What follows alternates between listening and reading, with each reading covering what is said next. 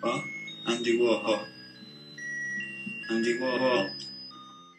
Sell sex, sex, sex from inside a burnt out shell and follow the slutty but avant garde code of conduct where collagen lips and latex tits sell sex, sex, sex. Pump it up to the max and become super real. Take your ordinary world and hype it to the, to the max. Sell sex, sex, sex.